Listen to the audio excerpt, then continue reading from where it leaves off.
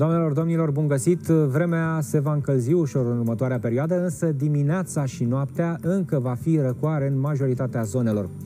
Așadar, în următoarea perioadă avem o informare meteorologică valabilă de astăzi până mâine seară la ora 22. Sunt așteptate manifestări de instabilitate atmosferică în cea mai mare parte a țării, ce se va manifesta prin averse, frecvente descărcări electrice, intensificarea ale vântului, vijelii și izolat căderi de grindină. Ploile vor avea și caracter torențial, iar cantitățile de apă vor depăși punctiform în uh, perioade scurte de timp sau prin acumulare 15-25 de litri pe metru pătrat. Temperaturile minime vor fi cuprinse între 4 și 13 grade. Joi vremea se va menține caldă, chiar deosebit de caldă în sud și est.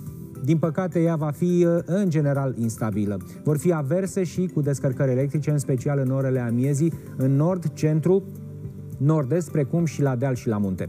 Este posibil să cadă grindina. Temperaturile maxime vor fi cuprinse între 14 și 28 de grade. Acum vedem și câteva temperaturi de mâine din marile orașe. Iată că în uh, Brașov vor fi 19 grade, la Craiova 24, în Iași 24 uh, de grade, Sibiu 20, iar la Timișoara nu mai mult de 20, poate maxim 21 de grade. Și la munte va fi cald, însă cerul va avea înorări temporar accentuate și va ploua în averse cu descărcări electrice, în special după amiaza și seara. Nu este exclus să cadă grindina. În Ceaclău uh, vor fi maxim 8 grade, în Păltiniș 11, se vor înregistra 15 uh, grade în Poiana Brașov, la Strana de Vale maxima va atinge 13, poate 14 grade.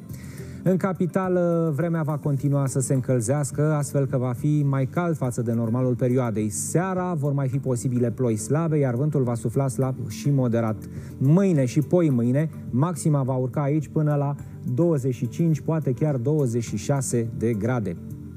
Vineri în vestul, uh, nordul și centrul țării, precum și în zonele montane și submontane, vor fi înnorări temporar accentuate și se vor uh, semnala ploi ce vor mai fi și cu caracter de aversă, local descărcări electrice.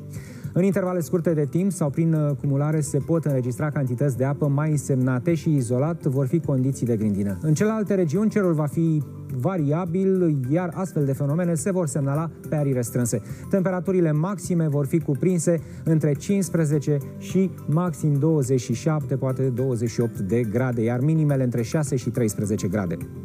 Acum vă invit să vedem cum se anunță vremea pe continent. Se anunță vreme cu uh, o vreme, să spunem așa, normală pentru această perioadă. Nori, în general, în partea sud-vestică a continentului. La Lisabona vor fi în jur de 20 de grade, iar la Madrid în jur de uh, 19-20 de grade. 17 vor fi în Barcelona. Iată că în uh, Geneva vor fi 14 grade, iar la Paris nu mai mult de 16 grade. În Europa Sudică ploile vor fi mai puține și mai uh, neînsemnate. La Roma vor fi maxim 21 de grade, în Budapesta 20 de grade, în Sofia 21, în Atena 24 de grade, iar în Istanbul în jur de 20 de grade. În jumătatea nordică a Europei sunt anunțate ploi însoțite și de descărcări electrice și vânt. Iată că la Praga vor fi în jur de 18 grade, în Helsinki 8, în Varșovia 16 grade, în Kiev 21, iar la Moscova nu mai mult de 9, poate 10 grade. Doamnelor, domnilor, acestea au fost informațiile eh, la rubrica Meteo, așadar am ajuns la final. Mai multe detalii găsiți și pe site-ul nostru știriletvr.ro. Sunt Andrei Bărbulescu, mulțumesc pentru atenție, o seară liniștită să aveți, indiferent de vreme.